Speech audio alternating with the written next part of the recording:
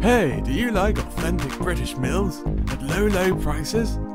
Why not come to the Scary Horse, just off the A38? We're waiting for you!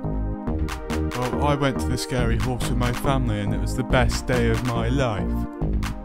I too enjoyed the Scary Horse, especially the way the bathrooms are decorated. I like it. So there you go, the Scary Horse. Fine family dining just for you.